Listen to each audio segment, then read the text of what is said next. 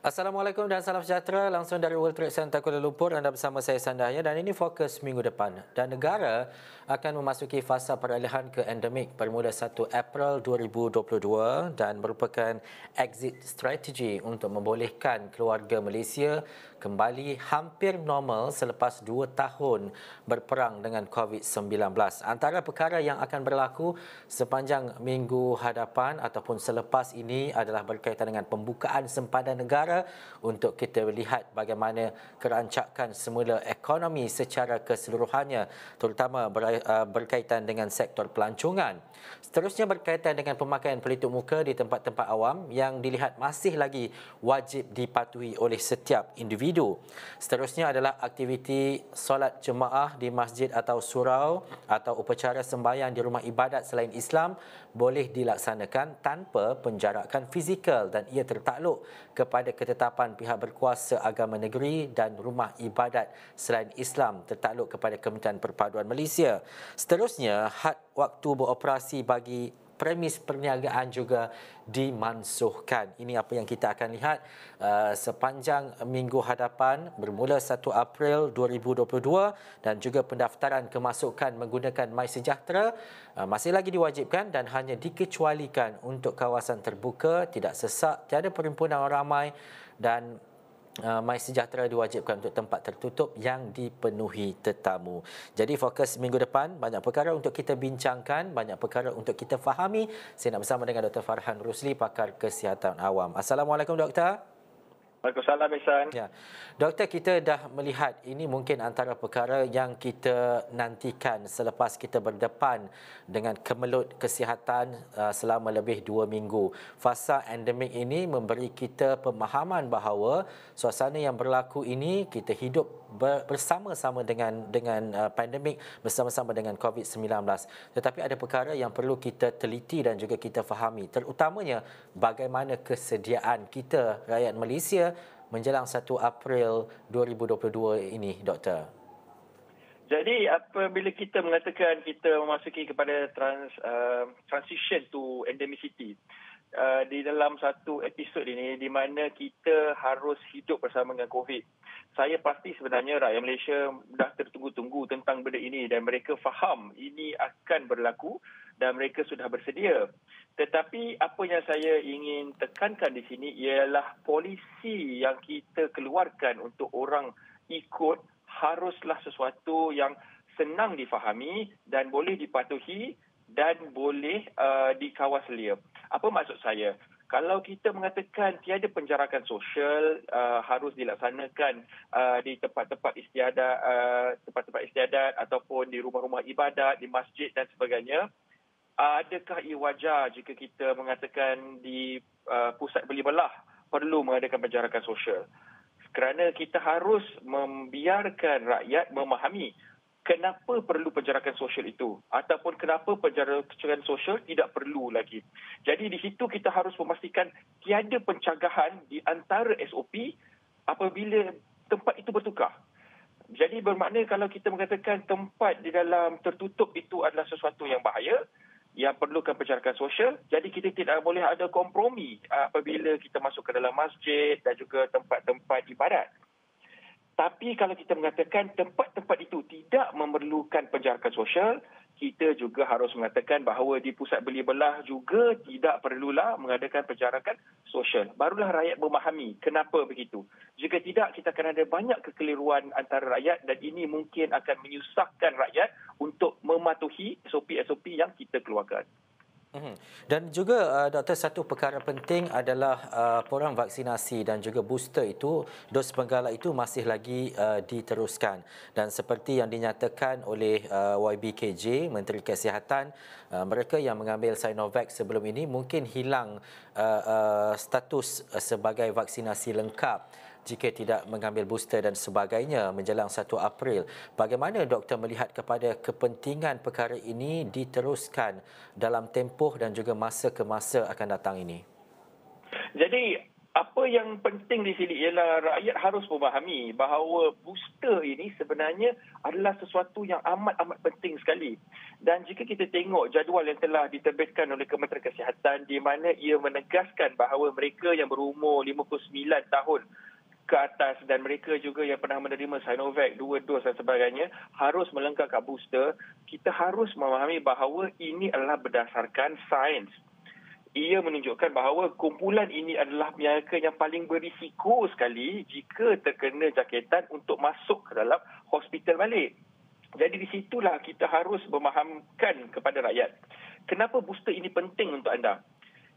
Di dalam keadaan kita yang sekarang, di mana kita masih lagi tidak membuka kita punya sempadan-sempadan, masih lagi ada jangkitan yang berlaku di dalam golongan-golongan ini, Bayangkan apabila kita punya sempadan akan dibuka dan ramai lagi influx orang daripada luar yang akan masuk, tidak tahu membawa varian apa yang mungkin kita tidak boleh ke dalam kita punya negara. Uh-huh. Jadi, di situ, adakah mereka faham bahawa mereka adalah lagi lebih berisiko apabila uh, kita masuk ke dalam fasa endemik ini. Disebab itulah booster ini harus diambil dan mereka harus memahami apakah kepentingan booster ini untuk mereka. Hmm.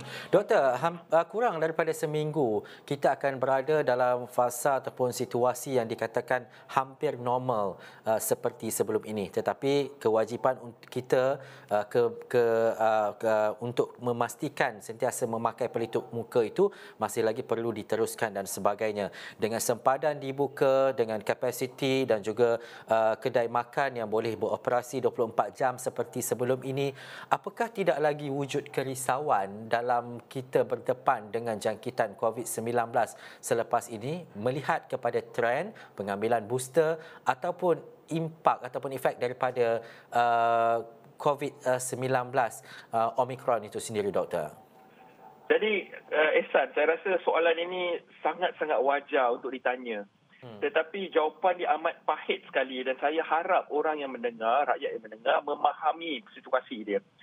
Endemik bukan bermakna selamat. Hmm. Ia jauh sekali. Endemik bermakna kita kena hidup dengan virus tersebut. Tetapi virus tersebut masih boleh menjangkiti kita, masih boleh memasukkan kita ke dalam hospital dan masih boleh membunuh.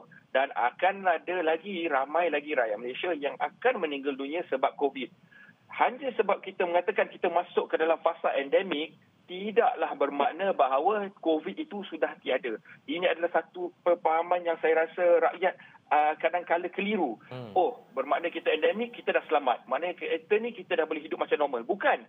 Kita kembali kepada normal yang sebolehnya bersama-sama dengan COVID bermakna kita harus sudah faham pada waktu sekarang selepas dua tahun kalau kita tak nak kena COVID apakah perkara-perkara yang kita harus uh, lakukan. Ia sama seperti denggi kalau kita tidak mahu terkena jangkitan denggi kita kena pastikan tiada takungan air di rumah. Kita kena pastikan kita spray dan pastikan kita menggunakan ebet untuk matikan telur-telur nyamuk dan sebagainya.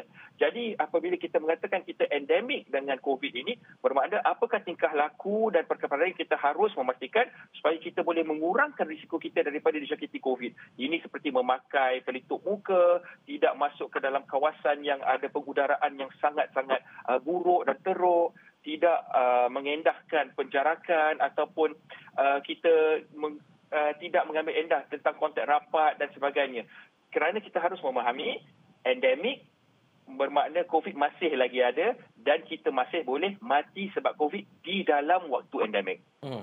Dari sudut kesihatan sebagai seorang pakar kesihatan awam, apa yang Dr. Rosli, uh, Dr. Farhan uh, akan dapat saksikan selepas ini, terutamanya selepas 1 April? Adakah berkaitan dengan lonjakan kes? Adakah ia berkaitan dengan uh, kes-kes yang yang akan meningkat seperti sebelum ini dan sebagainya? Dari sudut pandang seorang pakar kesihatan, apa yang yang doktor dapat jangkakan dan juga doktor dapat lihat selepas ini? Jadi pembukaan ini sebenarnya dia dibuka bersama dengan waktu uh, bulan puasa. Hmm. Jadi di waktu bulan April kita akan nampak banyak sangat perubahan lah yang ketara. Dan kita akan tengok kerana rakyat Malaysia ni banyak menggunakan kaedah wait and see approach. Kita akan tengok dulu bila orang dah start keluar berjalan, kita pun akan ikut. Kita akan tengok kalau kedai ini pun dah buka, lepas tu orang dah start pergi, kita pun akan ikut juga sebab kita tengok tak akan ada apa-apa yang berlaku. Tetapi kita boleh jangkakan bahawa pada pertengahan bulan 5, hujung bulan 5 dan awal bulan Jun, bulan 6 ya, kita akan menampak lonjakan kes lah kembali. Tetapi pada waktu ini, kita harus memahami bahawa jika kes menjadi lebih teruk, tidak wajar untuk kerajaan menutup balik kita punya sempadan dan menutup balik ekonomi-ekonomi dan kembali kepada PKP. Jadi jika kita sudah mendapat informasi dan ilmu sekarang mengatakan bahawa jika kita tidak melakukan apa-apa uh, tanggungjawab diri kita sendiri untuk menjaga keluarga kita dan diri kita, kita boleh uh, menjadi lebih teruk pada bulan 5 dan bulan 6. Kita harus mengambil tingkah laku dan langkah-langkah yang sewajarnya sekarang untuk memastikan kita boleh mengelakkan uh, lonjakan kes pada bulan 5 dan awal bulan tersebut. Hmm. Ehsan. Hmm. Tetapi hmm. saya harap itulah yang kita boleh lakukan bersama. Hmm. Dr. Farhan, uh, uh, Malaysia mungkin mengambil beberapa ketetapan. Uh, ada yang menyatakan bahawa tiada lagi uh, dos penggalak kedua, ketiga dan sebagainya. Tetapi ada negara-negara yang mungkin mempunyai kadar uh, jangkitan yang sangat tinggi uh, menawarkan uh, dos kedua atau uh, dos penggalak ataupun booster uh, booster yang kedua kedua dan juga yang ketiga. Pada pandangan doktor dalam situasi kita sekarang ini Malaysia apa yang yang boleh kita cadangkan di masa hadapan? Jadi untuk ini sebenarnya bukan hanya untuk Malaysia saja tapi untuk semua negara di luar sana. Hmm. Dan jawapannya secara jujurnya tiada satu negara pun di dunia ini yang boleh mengatakan bahawa dos tambahan tidak diperlukan. Hmm. Kerana ini masih lagi sains yang masih lagi kita belajar. Orang yang baru dicocok yang paling awal pun baru 2 tahun menerima uh, vaksin tersebut ataupun 1 tahun 8 bu- uh, 6 bulan. Jadi baru 18 bulan. Jadi tidak ada seseorang yang boleh mengatakan bahawa kita tidak memerlukan memerlukan tiga ke empat. Jika ada varian baru yang mungkin keluar pada tahun ini ataupun pada bulan 10 nanti, kemungkinan ada vaksin yang di, mungkin ditukarkan sedikit untuk mengurangkan risiko jangkitan varian tersebut. Jadi pada waktu ini, benda yang kita boleh syorkan ialah jangan janji apa-apa yang kita tidak tahu dan kita tidak boleh tunaikan. Hmm. Dan juga doktor akhir sekali mungkin apa uh, pesanan dan juga nasihat doktor. Kita akan uh, berada dalam fasa endemik ini pada 1 April 2022 dan selang beberapa hari selepas itu uh, umat Islam akan menyambut Ramadan dan sebagainya. Bagaimana doktor boleh katakan sesuatu terutamanya untuk kita menjaga dan juga kita mengamalkan prinsip kita selain daripada kita beribadah, kita juga menjaga tahap kesihatan kita sebagai rakyat Malaysia. Jadi mungkin sudah dua tahun kita tidak dapat bersolat uh, jamaah uh, terawih bersama dan sebagainya dan sebab itu kita akan ke hari raya. Uh, pesanan saya mudah sahaja. Apabila kita ingin meng, uh, menghadapi bulan puasa ini dan Ramadan yang akan tiba ini dengan sepenuh hati pergilah ke masjid, pergilah ke surau, penuhkan ia dan buatlah ibadat. Tetapi melakukannya dengan cara yang selamat. Bermakna mengambil wuduk di rumah, memakai pelitup muka, membawa sejadah sendiri. Dan apabila kita berada di surau dan di masjid, usahlah kita bergaul, elakkanlah kita bersentuhan dan berciuman dan sebagainya. Kita harus menghormati dan juga menjaga uh, jiran sebelah kita apabila kita berjemaah untuk kita elakkan kita lah menjadi penular di kawasan-kawasan tersebut. Dan ini juga dibawa juga kepada waktu hari raya nanti dan kita harus laksanakan RTK kita secara uh, bersahaja. Bermakna it is part of the norm dan kita harus lakukannya. Tetapi uh, celebrate lah hari raya itu dengan sepenuh-penuh hati. Tetapi buatlah semua itu di dalam dengan keadaan yang selamat. Mm-hmm. Seperti yang Dr. Farhan nyatakan tadi, uh, walaupun kita berada dan beralih kepada fasa endemik, ini tidak bermakna kita selamat. Kita hidup bersama dengan COVID-19. Uh, kematian, jangkitan itu masih lagi boleh berlaku. Apa yang pasti adalah penjagaan dan bagaimana kita uh, menilai balik uh, nilai kendiri kita, menjaga SOP dan sebagainya. Terima kasih Dr. Farhan Rusli, pakar kesihatan awam. Banyak lagi yang kita akan bincangkan dan juga kita lihat selepas ini dalam diskusi-diskusi selainnya. Terima kasih Doktor. Kita nak uh, berehat seketika sebab selepas ini saya akan bawakan dari sudut sektor ekonomi dan juga bagaimana perancangan untuk kita melihat terutamanya pada 1 April 2022 juga uh, wang KWSP RM10,000 uh, telah pun dibuka dan bu- boleh mula dikeluarkan. Selepas ini kita berhenti rehat seketika kembali selepas ini.